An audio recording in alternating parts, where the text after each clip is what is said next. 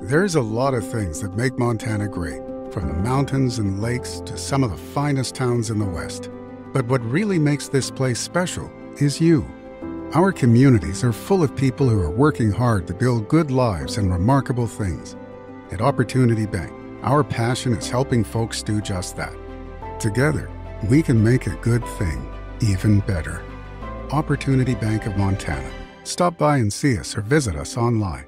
Member Join Town Pump's Pump It Up Rewards Plus program and never pay full price for fuel again. Save 5 cents on every gallon every day at any town pump across Montana. Plus, earn and redeem points on your favorite in store items to get free stuff with our clubs. Stop in and pick up a rewards card. Download the Pump It Up Rewards Plus app today. Or visit townpump.com slash rewards to register and start saving. Right Have you or a loved one been charged or accused of a crime? If so, the stress can leave anyone feeling helpless and alone. But you don't have to be alone. Hi, I'm Dave Maldonado, and I've successfully defended Montanans for over a decade in these situations. So if you're tired of being scared, let's get you prepared. To see how, visit BigSkyDefender.com today. You are not alone. Visit BigSkyDefenders.com to find out more on how you can fight back against local and federal criminal charges. Thanks for being here, everybody. Montana beat Delaware 49 19 in the second round of the FCS playoffs. Advances on to the quarterfinal round for the 15th time in program history.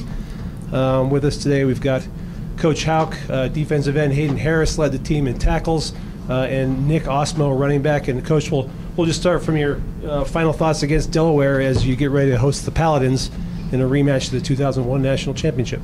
All right, thanks, Tabes. Yeah, in regard to the Delaware game, uh, that was a great team win.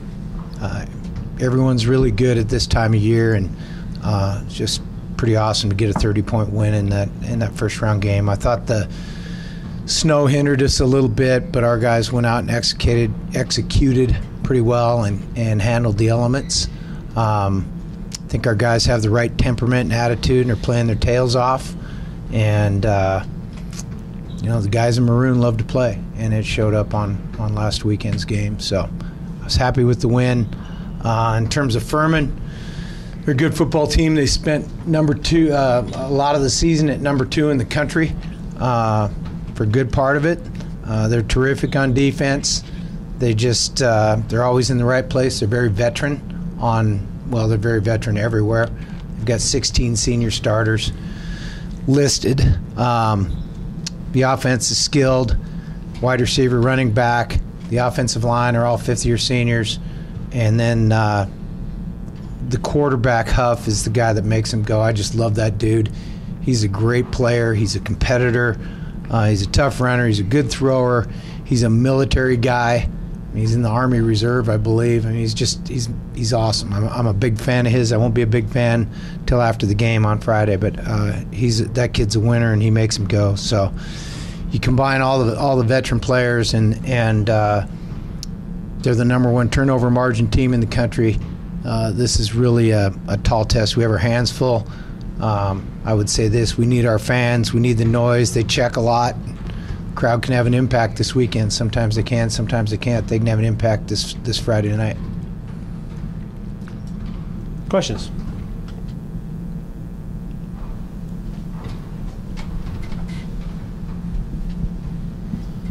Uh, Bobby, you brought up the fact that they are the number one turnover margin team in the country. Uh, you know, what have you seen from them that attributes to that? Uh, well, I mean, the answer to that question is the defense takes it away and the offense doesn't give it up. you know, I don't know how else to respond really, but that I mean, they're good. They take care of the football. That's how you get there. We've been in that situation here a few times. And uh, Nick, another big game for you in the snow. Is it safe to say uh, that you uh, like running in the snow?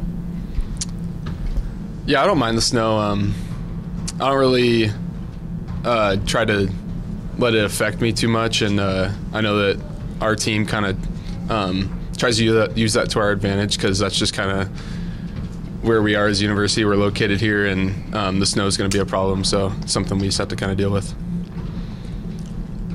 Bobby, you touched on the quarterback. Can you just kind of, I guess, elaborate on what kind of makes him go? You've talked about the things he's good at. Obviously, he dealt with some injuries and seemed to bounce back pretty well. Just what kind of stands out to him most when you look at the film? Yeah, I mean that's probably a better question for their coaching staff because I'm just you know I'm watching him, but I can tell he's a competitive guy. Excuse me, talking to people that have played against him, they say exactly that. Uh, he's really a well-rounded player. He's a tough, like I said, he's a tough runner. He's an accurate thrower, and he'll he'll fight for yards and first downs. And appears to me on film, he'll do anything he can do to win. Hayden, for you, just this is your first year here with the Griz. Just what's it been like, kind of acclimating, and then just kind of have a game like you did on Saturday, where you had you know the season high in tackles, and just you know what's I guess can you just describe what this first year has been like for you and being part of this defense? Yeah, I mean, it's been definitely a year of improvement for me. Um, getting here in the spring has really helped me um, get used to the defense coming from a different defense. Um, but I think the coaches have done a really good job, as well as the players have helping me acclimate to the defense and getting some rest with the guys has been really helpful so far. Obviously, you came from the FBS level, but you're getting to experience FCS playoffs now in the format. So, what was it like, kind of playing in a in a playoff game for the first time on on Saturday and going forward? No, know, it was really cool. Um, my time at UCLA, we only got two two bowl games, so coming to go, you know, play for the national championship is really special. And I think it's a really good format, you know, for college football, and I'm really excited for the game on Saturday.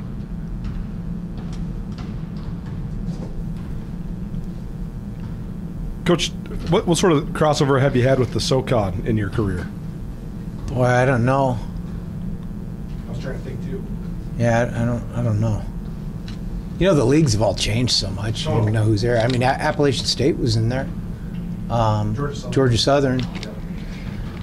Uh, yeah, those two for sure. Beyond that, um, boy, I don't know. It seems like when I watch the Big Sky, the Missouri Valley, there's kind of like defining characteristics about the league. You, can you see any from them? I know, it, like their last game was an all SoCon game with Chattanooga and, and Furman together. Yeah, you know, it's funny. I was watching the Chattanooga game, and, and I was going, "When did we play against them?" And I figured out that's where the championship was. I recognized the stadium, so, uh, but we never coached against them. So, um, uh, it's, I mean, there's enough teams in all these leagues that it's. I mean, you, it's it's either one or the other. You can say everybody runs the same stuff, or I mean, everybody runs the same plays. Well, watch the NFL, watch college football everybody runs the same stuff. There's there's very little uh, uniqueness in college football. Furman's given up even less in the NFL. Furman's given up like 17 points per game. Uh, you talk about the turnover margin. What else do they do well defensively? Well, they're again. I think it probably stems from how veteran they are. I mean, they're they're certainly well coached. Everybody fits together. They've all played a, lot of football. They all understand how they fit the formations and the schemes, whether it's whether it's their coverages matching up with with your formations and route concepts. They, they match them up both in zone and man. Um, the run fits they match up really well. I think uh, seems to me, and you know we're a day and a half into this, but it seems to me that their players have a great understanding of what they're trying to do on defense. Bobby, when you watch Furman on film, do they remind you of any team you guys have played this season? Well, I'll go back to kind of what I said. Everybody does the same stuff, so they remind me of everybody. Other than they're better at it than some. I know their head coach was a longtime offensive line coach. Maybe you guys overlapped when you were both in the Mountain West, but, and they have a couple or most of their offensive linemen got some sort of all conference awards. What what kind of stands out how their offensive line plays when you watch them on film? Yeah, I think they come off the ball well. Again, it goes back. They're very they're veteran. They're all fifth year seniors. They've all played a lot. Um, again, there's a reason why they were ranked number two in the country for a good part of the season, and you know the O line's a piece of that. And then as far as the defensive front, they ranked highly in the country in sacks, and it's kind of spread out among a handful of players stat wise. So why have they excelled in terms of getting sacks? Well, I, I mean, you can ask Hayden that question. He's going to tell you because they're winning up front. And I know they had a handful of blocked kicks and blocked punts.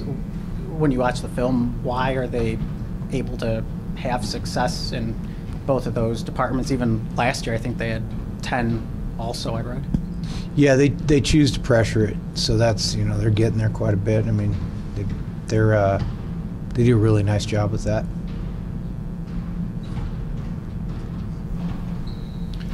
Sorry, Bobby, first presser for me this year. Um, I wanted to ask you, do you remember uh, the 01 game? Were you in Chattanooga, or uh, do you remember that game against Furman for the 01 title game? I remember it. I was at a recruiting lunch in Seattle on Lake Union when I was working in Washington. I made them turn the that game on. They, they were watching some other game, and I made them turn. They turn, made them turn the NFL game off and put on that game.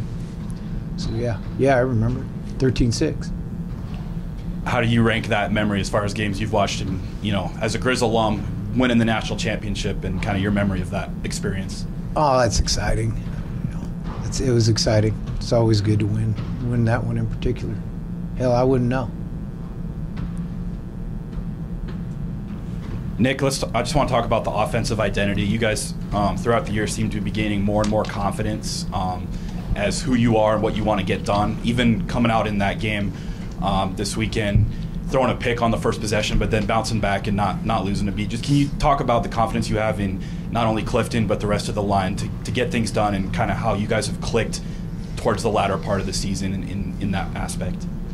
Yeah, um, you know, I feel really comfortable with everyone that's on the field, and um, we all come together as a unit to uh, get production and. Um, I really trust that when I'm running the ball, that the holes are going to be open, and the line's done a really good job with that. And um, the offense has been pretty balanced, and um, that's what we're kind of striving to do is be able to throw and run the ball. And um, I think we've been been doing a really good job doing that. Obviously, you've played a lot of games here at Wa-Griz, but just being able to play at home in the playoffs, just that extra added advantage that the crowd gives you. Do you really believe in that? Do you think that really helps you guys? Do you feed off of that? Yeah, you know, when the energy is high in the stadium, um, it can get chaotic, and I know that helps the, the defense a lot, and um, it's pretty exciting to have that crowd roar. Hayden, I'll ask you the same question with your first year being here. What has the the crowd noise and, and the atmosphere matched up to what you were expecting coming into Missoula this year? Um, it's awesome. Um, going out there every Saturday uh, to Wa-Griz is really special, and um, going forward in the playoffs and this game on Saturday, the crowd's going to be have a really big deal as they they recon to the sideline a lot. So we're going to be relying on them to make some noise, and we're going to really feed off that energy. Hayden, can you just also speak to, I guess, the way this defense kind of settles in during games? Because obviously teams start with scripted plays to kind of get going, and then you guys kind of settle in. Just what's it like on this defense kind of settling as the game goes on? Because it feels like you guys just get better and better once they get past those first couple series. Yeah, once we make our, you know, first, second drive adjustments, um, I feel like the defense does a really good job of everyone doing their their 111th. Everyone's doing their job, and we can really, you know, um, function on a high level just being on a defense like this with so many guys where like you know you were the leading tackler this last week. It could be anybody anybody making a play. Just what's that like just having so many guys who can do something like that both you know first and second string? Yeah i think this is a testament to everyone doing their job and whatever plays come to you come to you and just trusting the guys next to you to do their job. And if everyone does that then you know everyone's going to get you know um, get stats. But at the end of the day it's a team game and just doing your 111th is the overall goal of the whole thing Nick, it feels like the offense has done a pretty good job at starting fast. You know, just what's it been like? What, what's gone into making that happen for you guys as the season goes on? Where each game it seems like you guys are kind of off and running right out of the gate. Yeah, kind of like what I said before, just trusting each other and um, kind of feeding or yeah, feeding off what Hayden said is just doing your 111th and um, for us it's just like putting the ball in the right spot and uh, trusting that the O linemen are going to open up holes and um, just getting out and doing your job, breaking tackles when you can, and uh, yeah, everybody just doing their job and um, making the plays that they need to. And coach, you talked about the 01 game. Obviously, you were at Washington at the time, but you got here not long after that uh, to be the head coach at your alma mater. Just do you remember what I guess the atmosphere was like when you got here of a team that had just recently won a national championship? Did anything kind of stand out when you got here uh, after that point? Well, I mean, we'd lost like four or five before that coming in, so you know that was you know, you go, you go two years out, that's kind of ancient history. At that point, you got to get going. Um, that's about what I recall.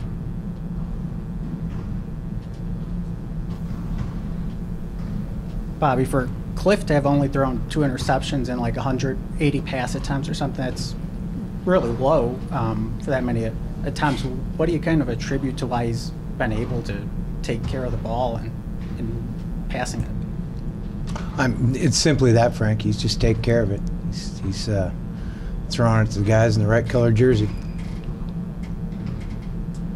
A couple special teams questions. We saw some long snapping issues for, for Delaware. Um, I can't remember Grayson having one for you guys. Any issues this year snapping it? Just kind of curious your thoughts on how he's performed for you now in his second year as the long snapper. Yeah. Did you want something on Delaware? And they snapped they snapped the one over the guy's head. Yeah, on the block punt. Yeah, I But mean just that that didn't have nothing to do with the snapper. Okay. Anyway, But, but just interested in Grayson and your thoughts on how how he's uh, handled being the long snapper for second year now. yeah, certainly he's Grayson's done a great job. Um, typically, you don't notice the holder or the snapper unless there's a problem. Kind of take him for granted. Uh, we don't. Uh, we appreciate him and we appreciate Grayson. And then Nico Ramos come in, has made every field goal he's attempted the, past month since he's came on. Just what can you say about his ability to, to step up these past uh, few games for you guys after not kicking field goals for first couple months of the year? Yeah, he's done a nice job given the opportunity. I suppose he personifies what we believe in our program, which is you prepare yourself, you get ready to go, and when you get given an opportunity, you succeed. Uh, that happens throughout the season th- on uh, every football team in the country, and I suppose the ones that are still in FCS football or even FBS football, the ones that are still playing are the ones that probably do that the best. Um, and Nico's done a done a nice job. That uh, that first field goal in the whiteout blizzard last weekend was pretty special, actually. At Blackfoot Communications, our mission is to connect people, businesses, and communities, bringing a world class fiber network to homes, communities, and businesses of all sizes ensures Montanans have access to fast, reliable, and secure internet and phone services. Are you ready for fiber internet? To find out if fiber is coming to your area, visit goblackfoot.com slash ready for fiber. Connect to more with Blackfoot Communications.